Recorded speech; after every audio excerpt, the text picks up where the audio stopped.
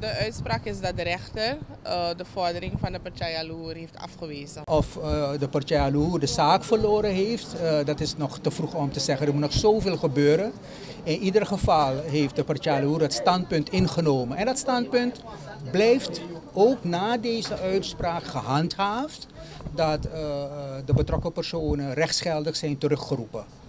Dus het standpunt van de Partij Aloer is niet veranderd.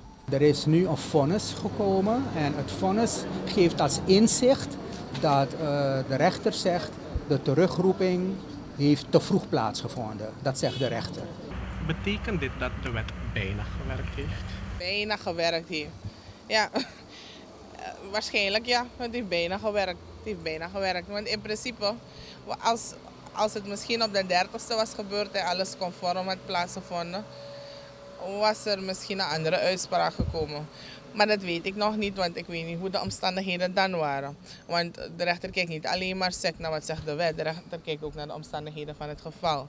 En um, ik weet niet als er dan ook andere fouten waren gemaakt of niet. Ik denk dat voor uh, het terugroeprecht in Suriname deze uitspraak uitermate belangrijk is.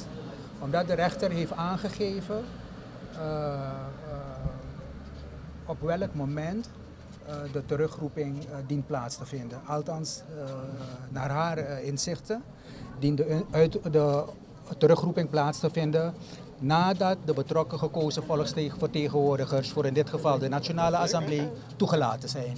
Gaat men, nou, gaat men nu anders aankijken tegen deze wet? Ik hoop het, want het, het is wel duidelijk dat het een beetje onduidelijkheid heeft erin. Het moet, uh, er zijn een paar vaagheden erin die verduidelijkt moeten worden. Dus ik denk wel dat uh, de assemblee wat werk op haar bord heeft als het gaat om deze wet. Um, dus ik denk, in die zin denk ik wel dat er uh, gekeken moet worden naar die wet. En die vaagheden hebben in uw voordeel of dat van uw cliënt althans gewerkt? Nou, ik zal niet zeggen dat het in, in ons voordeel heeft gewerkt. Er is gewoon prematuur gehandeld. Dat is het feit in dit geval.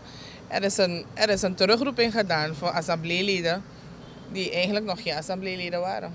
Wat is nou... Um... Dus in principe heeft die wet niet eens zo werk kunnen doen als zodanig. Want je kan alleen terugroepen wanneer je toegelaten bent tot de assemblee. assemblee. En dit, in dit geval was dat niet het geval. De rechter heeft nu haar oordeel gegeven als uh, rechter in kort geding in eerste aanleg.